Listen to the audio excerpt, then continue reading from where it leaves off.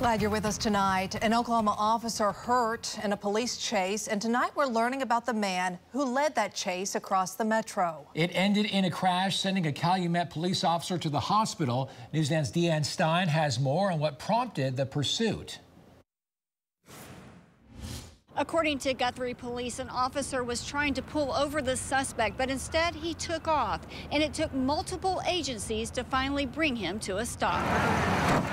We're finally getting a look at the man behind the wheel, Jimmy Don Dunham, who led a multi-agency chase through three counties. Uh, the pursuit lasted for a significant amount of time for speeds that were reaching up to between 100 and 120 miles an hour. Trooper Preston Cox with the Oklahoma Highway Patrol said two OHP units were involved in that pursuit Monday night. It all began when Guthrie police say an officer attempted a traffic stop, but Dunham took off.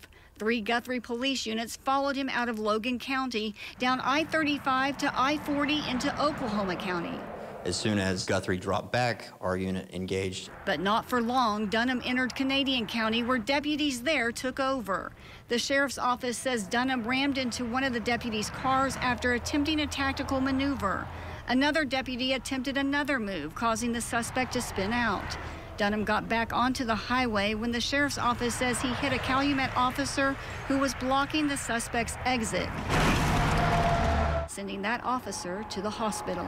We know that he was complaining of some head trauma, but they took him to the hospital. Dunham was booked into the Canadian County Jail on complaints of eluding a police officer. Now, I contacted the Calumet Police Department to try to find out the condition of the officer, but haven't heard back. In Oklahoma City, Deanne Stein, Oklahoma's Own, News 9.